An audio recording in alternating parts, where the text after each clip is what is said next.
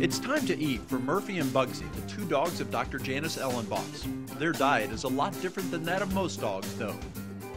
We don't eat processed foods ourselves, so I'm certainly not going to subject that to our dogs. So that's why we do what we do.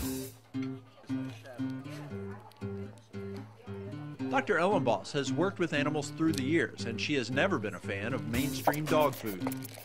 The dog food business came about as a, uh, a way of, of capitalizing on anything that wasn't fit for human consumption. You're better off feeding your dogs McDonald's than a lot of the dog foods that are out there. To further make her point, Janice recommends looking at the way most dogs are fed from another perspective. If your doctor, for instance, told you to go into the grocery store, walk by all the fresh fruits and vegetables, walk by all the nice cuts of meat, go right over to that processed food aisle and get to choose one food and make sure it's labeled complete and balanced, but that's all you get to eat, three meals a day for the rest of your life. It just wouldn't make any sense from a common sense standpoint, and yet we subject that to our dogs all the time. Dr. Elenbaas has never bought into the preferred method of feeding dogs, and that started well before she was an adult. My mother actually, when I was nine years old, we got our very first dog. I used to come home from school and see her cutting up meat and cooking beef heart and kidneys, and we always cooked for our dogs. So it was that Janice found herself in Jeff Scott's butcher shop in Bluffton, South Carolina, shortly after moving there from Canada.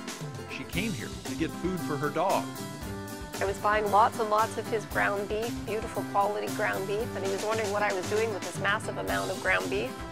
And I told him that we were cooking for dogs, and he said, well, if you can put it all together, uh, I'll sell it for you.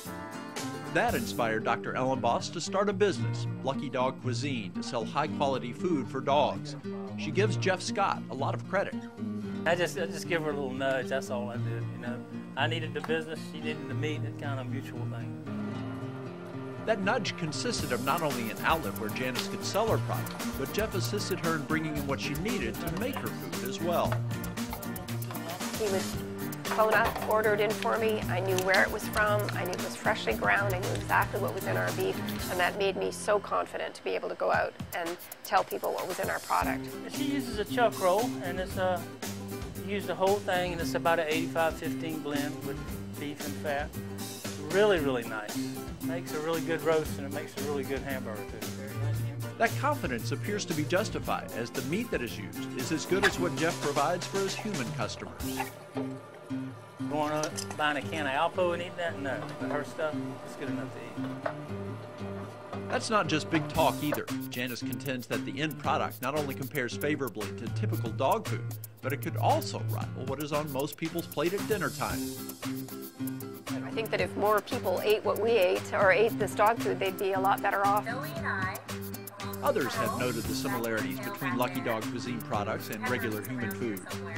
We are all going to eat Lucky Dog Cuisine every single day. I've got a, a woman, a young woman out of Florida who's actually eating our dog food. Uh, her name is Nikki Moustaki in support of something called Nitro's Law, which is an anti-cruelty law. And so she's been all over the internet eating our dog food. At the Cottage Cafe in Bluffton, the staff is very familiar with the quality of Lucky Dog Cuisine meals for dogs. I have not seen anything like it. It's human grade and you can eat it, and we've tried it. It's actually really good. The cottage encourages people to bring their dogs with them and features Lucky Dog food on a special canine menu.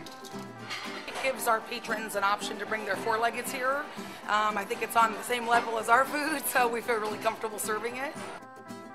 In a relatively short period of time, Lucky Dog Cuisine has caught on with customers in the low country and beyond. There's a lot of interest, I think, nowadays in natural foods.